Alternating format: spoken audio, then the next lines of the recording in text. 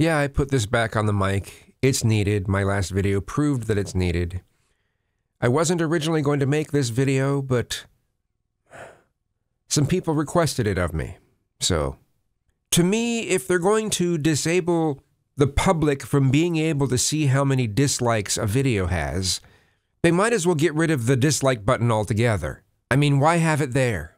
But unfortunately, research teams at YouTube have found there's this whole other use for disliking a video that I had never experienced as a creator and you may not have either.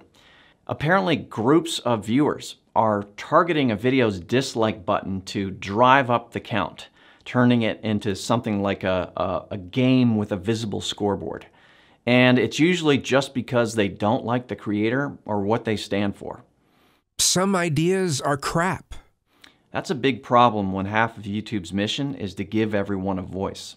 That's most definitely not your mission. So earlier in 2021, YouTube experimented with making the public dislike count private to see if it would help reduce these coordinated dislike attacks across the platform.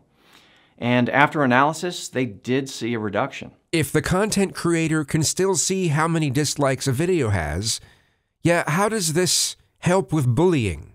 People can still orchestrate a swarm of dislikes on a video, and the person who makes the video will still see it.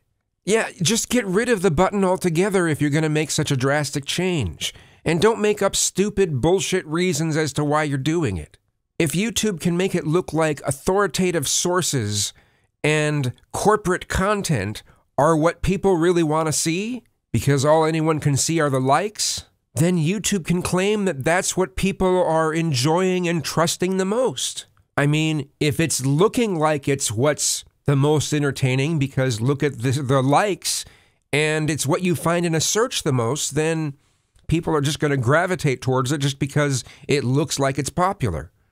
I mean, a lot of people kind of work this way. You know, there's, I don't know, a herd mentality. Many people like to listen to pop radio not because it's great music, but because it makes them feel current. So if YouTube makes the authoritative sources and, you know, corporate content seem current, seem like this is the current flow of things, not that awful stuff that these these other people are putting out, then that's what people are going to flow to. It's all just more of an attempt to make YouTube into television. Or I should say, the replacement for television, where it's the same type of content you'd see on TV, but now it's on YouTube, right? I think about the videos that come from the White House since Biden has been president. You know, if a video gets 40 thumbs up, there's usually 400 thumbs downs. This would certainly stop the people who would say, let's go, Brandon, from uh, affecting the channel.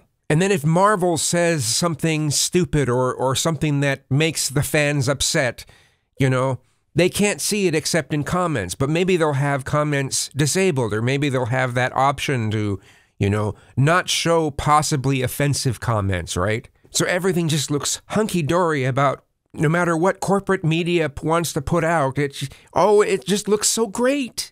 This decision of YouTube or of Google will make it harder to find reliable tutorials. And it will take a lot more time to find out whether something's a scam. A lot of times you, you can see something, hey, that sounds great.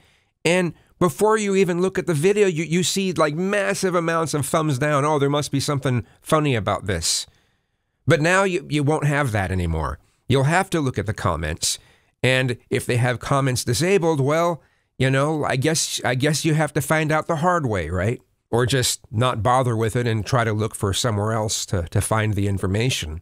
And then ignorant youth who just got into college who have fallen into an overly zealous college culture who make videos saying outrageous things can be seen as brave and progressive, except in the comments.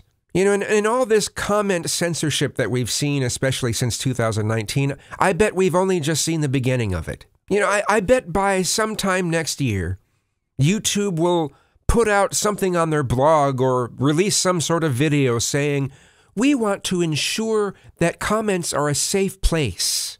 We promote reasonable discussions. Uh, reasonable probably wouldn't be the word, but And then they'll clamp it down to where everyone has to sound like they're part of some sort of corporate seminar about diversity or anti racism. You know, and then claim, no, no, it's not political, it's scientific. And then I think YouTube would eventually come for people's content, actual uploaded content, using those same type of metrics. Except for corporate content, which they'll smear in everyone's faces even more. So much to look forward to.